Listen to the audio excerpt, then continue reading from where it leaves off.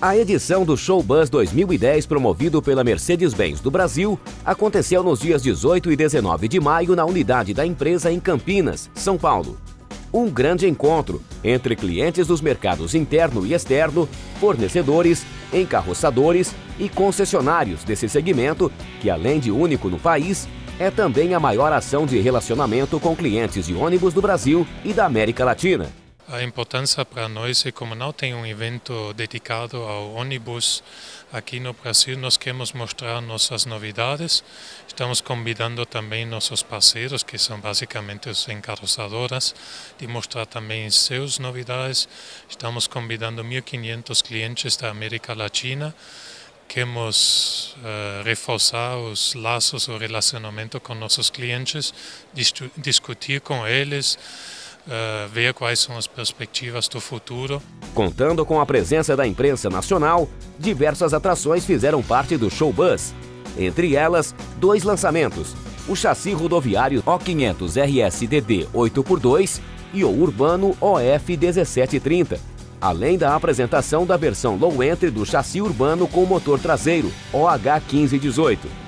O chassi O500 RSDD 8x2 é indicado para o transporte rodoviário de passageiros em longas distâncias e turismo de luxo, com possibilidade de montagem de carroçarias double deck, enquanto o chassi OF 1730 destina-se ao uso intermunicipal, de fretamento e curtas distâncias rodoviárias.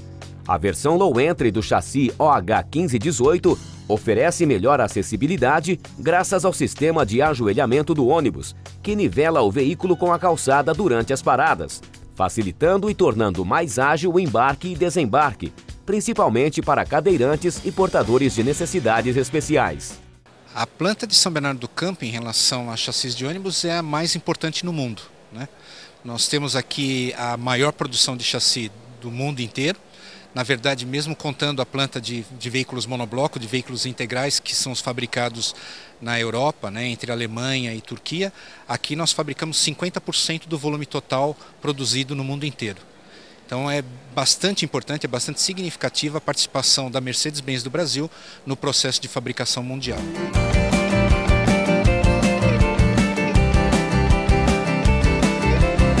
Outra atração de destaque foi o seminário BRT na Copa 2014, do Projeto ao Concreto, reunindo autoridades, operadores, gestores, consultores e especialistas. O Fórum de Debates apontou que o sistema de transporte BRT, Bus Rapid Transit, é a solução mais rápida, eficiente e econômica para as cidades que sediarão os Jogos da Copa do Mundo de 2014. Comparados com o trem e o metrô, o custo de instalação é até 10 vezes menor, com prazo de conclusão reduzido em até dois terços. Sem contar ainda com ganhos ambientais como redução de emissões e diminuição de congestionamentos.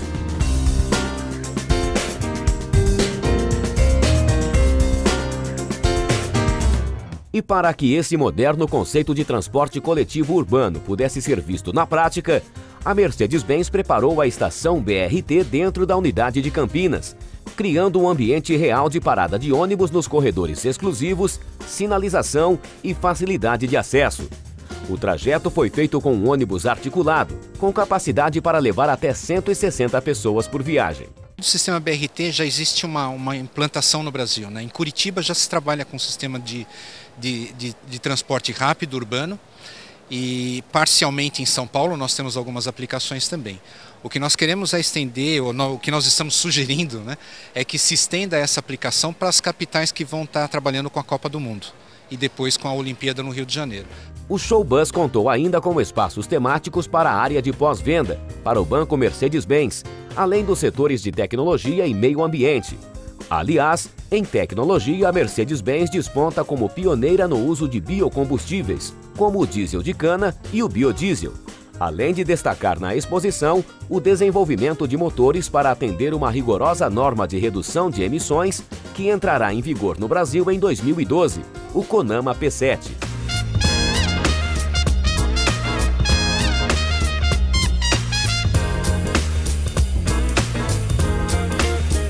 Neste ano, a Mercedes-Benz firmou acordo com a ONG Iniciativa Verde, recebendo o selo Carbon Free, e como resultado, As emissões de CO2 geradas com a realização do show bus serão compensadas com o plantio de árvores pela empresa na Mata Atlântica. Também foi apresentado o programa Produção Mais Limpa, P L, conjunto de iniciativas para a redução do consumo de recursos naturais e de geração de resíduos, reutilização de matérias-primas e aumento da reciclagem, mostrando o compromisso ambiental da Mercedes-Benz e os resultados obtidos com essas práticas.